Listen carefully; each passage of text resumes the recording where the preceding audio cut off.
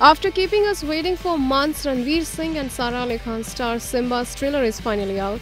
Ranveer will be seen as badass cop Sangram Bhalerao, who is witty and has his own style of dealing with the things.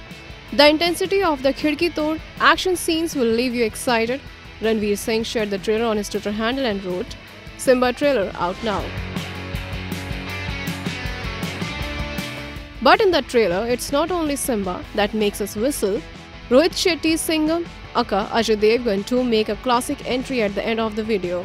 The film also stars Sonu Sood in lead, which is produced by Karan Johar. It is slated to release on 28th December this year. Honest Report.